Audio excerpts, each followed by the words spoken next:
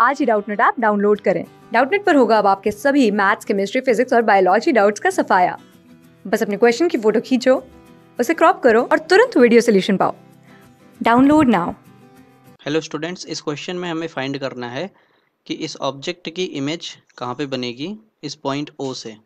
तो अगर हम फ़र्स्ट लेंस को देखें तो ये कॉन्वेक्स लेंस है और सेकंड लेंस है कॉन्केव लेंस और थर्ड लेंस है कॉन्वेक्स लेंस। लेंस फार्मूला को अप्लाई करेंगे तो one by V minus one by U equal to होता है वन बाय एफ़ पहले लेंस के लिए लगाएँगे तो u इस केस में क्या हो जाएगा? माइनस थर्टी हो जाएगा। वन बाय वी वन हम लोग फाइंड करेंगे, यानी कि पहले लेंस से इमेज की distance minus one by minus thirty ये हो जाएगा। According to sign convention equal to one by plus ten ये हो गया फोकल लेंथ तो one by V one equal to आ जाएगा। One by ten minus one by thirty LCM ले लेंगे तो थर्टी ऊपर बचेगा twenty one by V one. So यहाँ पे थ्री हंड्रेड बचेगा। सो so, ये वैल्यू आ जाएगी one divided by fifteen that means कि V one is equal to बनेगा प्लस फिफ्टीन सेंटीमीटर पर।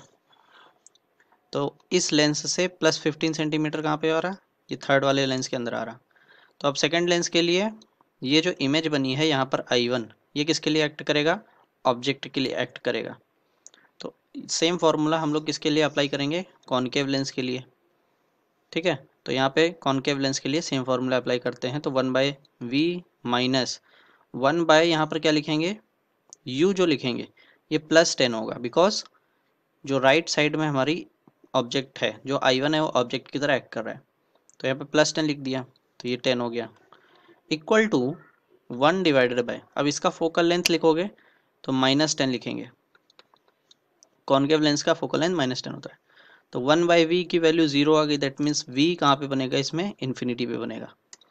यानी कि इस ऑब्जेक्ट से अगर कोई रे आ रही होगी तो इस पॉइंट पे वो जाना चाह रही है। आई वन पे वो जाना चाह रही कन्वर्ज होना चाह रही है। लेकिन यहाँ पर जो कॉन्वेक्स कॉन्केव लेंस लगा हुआ है, इसकी वजह से ये रे क्या होंगी? डाइवर्ज हो जाएँगी। और ये पैरेलल रेज हो जाएँगी, क्योंकि यहाँ पर बताया गया है कि जो फाइनल इमेज है, वो इन्फिनिटी पे बन रही है। तो अब यहाँ से थर्ड केस हम लोग थर्ड लेंस के लिए बहुत ही आसानी से निकाल सकते हैं कि जो फाइनल इमेज बनेगी, वो लेंस थ्री से रिफ्रैक्शन के बाद उसके फोकस पे बनेगी, क्योंकि पैरेलल रेज जो होती हैं वो फोकस पे आके मीट करती हैं। तो थर्ड लेंस से कितनी दूरी पर फाइनल इमेज बनेगी? आई वो थर्टी सेंटीमीटर पर बनेगी। तो ओ से अगर डिस्टेंस कैलकुलेट करेंगे तो इमेज डिस्टेंस हो जाएगी फ्रॉम ओ इक्वल टू देखिए thirty plus five plus ten plus thirty करेंगे। Thirty plus five plus ten plus thirty ये सिक्सटी और ये सेवेंटी सेवेंटी फाइव हो जाएगा टोटल तो ये सेवेंटी फाइव सेंटीमीटर हमारा आंसर होगा. थैंक यू क्लास सिक्स से ट्वेल्थ से लेके NEET I I T JEE mains और एडवांस के लेवल तक. दस मिलियन से ज़्यादा स्टूडेंट्स का भरोसा.